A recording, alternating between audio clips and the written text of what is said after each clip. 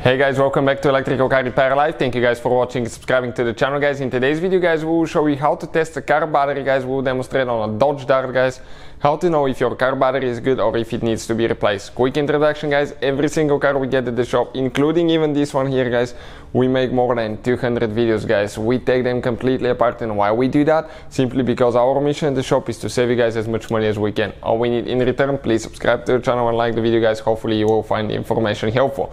Now, if you guys need to buy any replacement parts, tools, anything that we use in the video, check out guys the link in the description of the video below guys. We're going to share all that guys, okay, for for your convenience. So let me show you guys what we will be doing here now. This is guys the car battery that we have. Okay, now this battery guys it's practically new. You can see it's only it's only one year old. But the car didn't want to start the other day and uh, we want to check guys okay if the battery is the problem or uh, something else caused that. And we're going to explain how we know that now. We're going to use a TOPDON battery tester here guys. Okay this is amazing tool not very expensive we'll have the link in the description of the video below it's one of the cheaper ones but it does amazing job we compared it to a high-end too and uh, we have a video guys and it turned out this is amazing too so you connect guys your uh, black cable to the negative terminal of the battery and red cable to the positive terminal.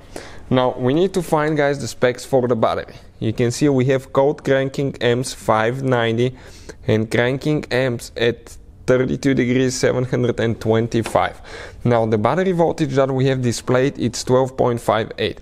We completely charge that battery. I would recommend guys to charge the battery when you complete uh, when you conduct the test so you can get the best results you can get guys. So now what we need to do? We need to click enter. You select the language that you need.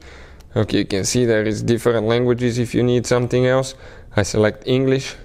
Now, the uh, it's actually in the vehicle. Okay, select test in vehicle. Select charge after charge. Perfect. This is a normal flooded battery or EFB, gel, AGM spiral. So you can see you just have so many guys, regular flooded hours. Cold cranking amps. This is 590 guys.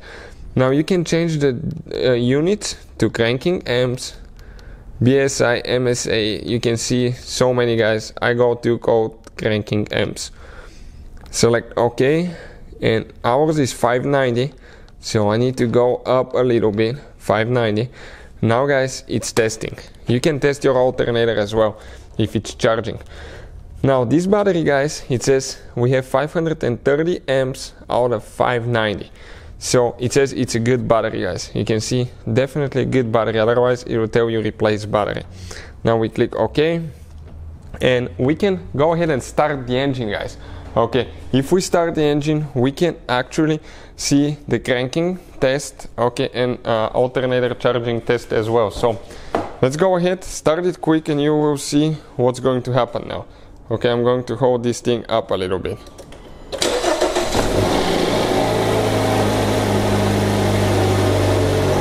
Okay, RPM detected. So it's testing now, guys. Don't start your car inside the garage, guys, always outside the garage. Cranking normal. Okay, it dropped to 10.42 volts. Charging test, let's do that as well. Loaded test. Now, what we're loaded testing, guys, okay, uh, let's go give it a little bit of gas. For loaded test, you have to turn your uh, headlights on. Okay, that's good. Okay, perfect. So, let's turn the car off now. And what do we have, guys? Charging high, loaded, 14.48 volts, non-loaded, 14.76 repo normal guys so you can see everything is good about the charging system as well. So with that little tool guys you can test your charging system your battery and everything else. So hopefully guys the video will be helpful. Thank you for watching. Please subscribe to the channel for more videos and see you guys next time